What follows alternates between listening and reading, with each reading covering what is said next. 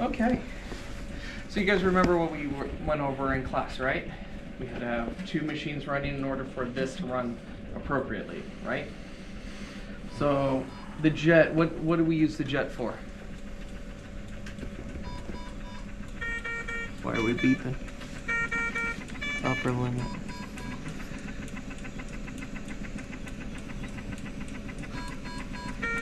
See, we, we still have to troubleshoot even on the fly. Look at that. Think so? Perfect. It's just happening, right? Let me know if any of the other four reach out, or three reach out to you, so I can go get them. um, Mary. Is he here? Sometimes you use it real slow, you know. But if you gotta Because use like an Alicia and Casey were here and then they walked away. Yeah, they're like in the a parking lot.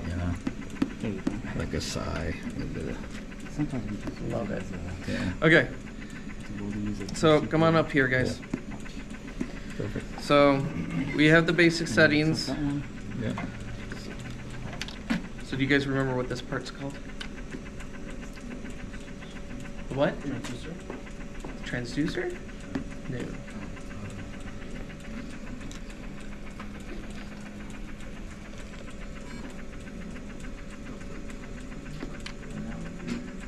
That was the brand one. Bunnell's the brand name, yeah.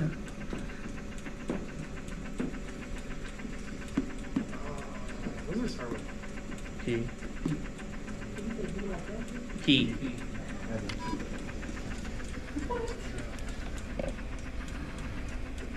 But what's happening right here? Why don't you, why don't you come over here and feel the box? Feel the box. Come on, come and touch it. Feel the box. What's it doing? What's it doing? Vibration. In this case, it's not a vibration; it's a pulsation. So pulse.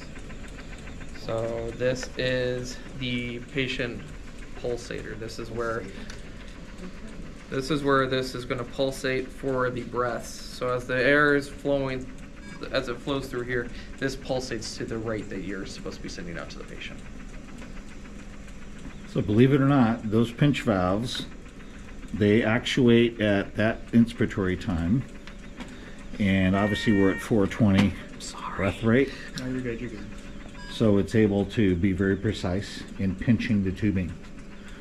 That tubing we move every four to six hours. You don't want it to be smashing on the same piece of tubing. So you just kind of slide it. They give you little increments, or at least some of the newer ones, they give you increments that you kind of just move it around. If you come over here and feel, Yeah. it feels like a rubber band. Like a rubber uh, piece of tubing. Yeah, see the pulsation right there on the inside? See it, that little black th- tab? If you actually push down on here, it's It moves opens it, it. down so we can move the this little section of the circuit in there around there. So when you do your setup, you just push the button, it opens the jaws, slide it in there, and then periodically, like I said, on a time schedule, you just want to move it, just incrementally. They're in the lobby. They're in the lobby now. Okay. So this is a pressure line, so this is to sense the pressure that's coming from the circuit that's going out to our baby. So as you can see by the lung, it pulsates pretty good. Thank you. So this, this is their adapter. You'll just have to do three assignments. They it's fine. actually make an endotracheal tube that goes into the patient, and then you're gonna monitor the patient's pressures within the trachea, which is probably the better way to do it, but it's sometimes difficult to re-intubate a real sick baby. So they made this adapter where you can measure the pressures out here, and it's good enough. So Um, but yeah, that's something we that, just, what we essentially Dr. do is Bunnell. we take the regular ET tube, right, pop off the adapter, and replace it with this. right. So they just switch out. They're interchangeable. The one that Bunnell made is called the high-low jet tube, and it's like say, it's designed to, to work with the with the jet. So that's the Tesla, right? This Yep. is the Tesla, yeah. Yeah, pretty So, cool. yeah, the Tesla. So, what disease processes do we like to use the jet with? ARDS. What else? Cystic fibrosis. Anything else? remember us talking about air leaks? So like pneumos and things like that, or um, like diaphragmatic hernias. This is a great mode of ventilation for those babies because it's so gentle on them. You see the pulsations, but you don't get as much of a leak as you would say with the conventional ventilator which is why it's yelling. Because the conventional ventilator here, all this is doing is providing a PEEP to maintain the PEEP that's being delivered here. Is this what makes the baby's diaphragm like? Yes, remember I was talking about the wiggle? That's this. Well, the oscillator is a little more associated with the wiggle. You wiggle the thigh. This is less so, but still, you still get the same idea. It's a fast, you know, the rates on the jet are slower typically than the rates on the oscillator. The important thing to realize when you talk about high frequency, it's not really how fast they go, although the oscillator goes really fast. On the on the, the A model, you can go for a thousand breaths a minute. The issue or the, the, the thing you want to consider is it active or passive exhalation? So the jet is passive exhalation. So the rate in research, Bert Bunnell, the doctor that developed it, who I worked for, he came up with the breath rate of 660 is the fastest that the lungs can recoil on their own. So it has a limit in its, in its speed because you want the lungs to recoil on exhalation and push the gas back out. Where with the oscillator, this one has active exhalation. So it is a piston. So it sucks back out. Right, gives the breath and then it sucks back out. In doing so, you can what do you think is possible with airways when you're suctioning or pulling on them? What do you think might happen? Collapse. They collapse. So the oscillator you typically need more mean airway pressure in order to hold the airways open as you oscillate in and out of those airways. So with the oscillator, you typically are going to use more mean airway pressure than when you do on the jet. The jet, you're always going to use less mean airway pressure. So those are important things to remember between those two things. Oscillator is a piston. You can see the piston right here. It goes in and out and pushes the gas in and then pulls it right back out again. And we'll activate that one. Mhm. This is passive exhalation. You're getting a breath in, very gentle breath, and the lungs recoil. So with this, as you can see, we have our basic settings that we set down here. So we've got the um, basic controls. So this is your PIP. This is the pressure that we use. Then this is our rate that we've set, or the frequency, the I time, and the ID ratio. So we have the numbers that we can set these at, and as you can see, that provides that passive exhalation that we want.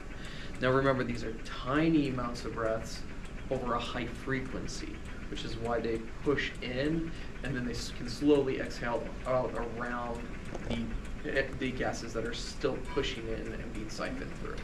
It's also why their lungs can expand and stay expanded without being necessarily lost to the air leaks that happen. So up here, so these are your settings, what you've set, and this is what is actually happening. This is what's going out to our baby or our adult or whatever patient we have. And so you have our pressure, so we have our PIP that was set here at 20. This is what it is at up here. Then we have our PEEP. So our PEEP's at here at 5, that's maintained by this.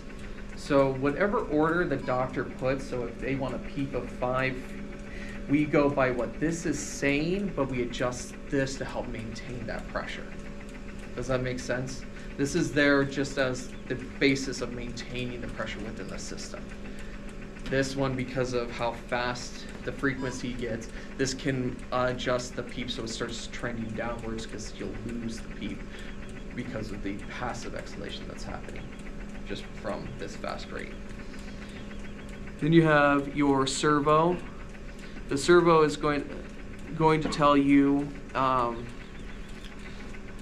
I forgot what the servo does. What is Well, servo? it's it's how much energy the ener- you know kind of like how much force the the machine has to or how hard it has to work in order to deliver your PIP of 20.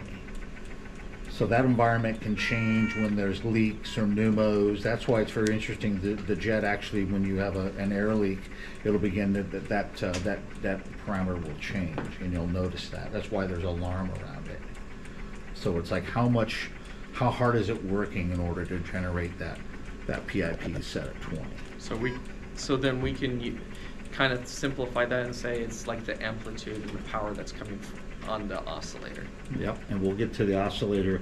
It's a little bit different. You know, this is using standard terminology. We're used to PIP, things like that. Where this is going to use hertz, right? The different nomenclature, more of a electrical engineering type of a of a term versus the breath per minute term that we use over here.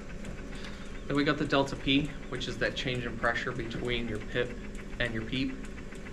So, as you can see, your pips here, your delta P is going to be magnification of the difference between these two. So, pip minus peep should equal your delta P. Should. There are going to be times when it doesn't, and that's when you have to make some adjustments. And then your map, which is what's going to stabilize and keep the airways open, which do you remember what our normal map map is supposed to be? What's our normal for map? Say that again. Above Oh, 65 for okay. map? Oh That's, my that's a little Hold on, high. I'm thinking about something. That's a little high. Oh, oh, I'm Just a thinking little about bit. the blood pressure. Sorry. Not mean, not mean arterial know. pressure, mean airway pressure. Um, What's our normal map for mean airway pressure?